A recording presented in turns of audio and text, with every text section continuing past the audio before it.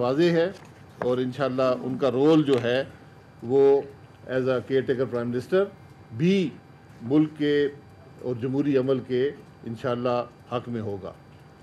मैं ख़ास तौर पर स्पीकर रियाज सादे साहब को बहुत मशहूर हूँ, जिन्होंने इस प्रोसेस को आइनी तरीके से फैसिलिटेट किया, हमें हमारी मदद की और इस कंसेंसस में उनका भी एक रोल है।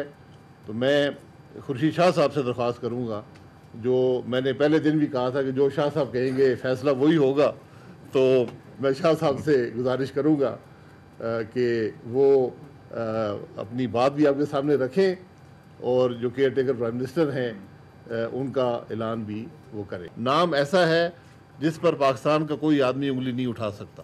आप, आप सबको मुबारक हो खुदा हाफिज़।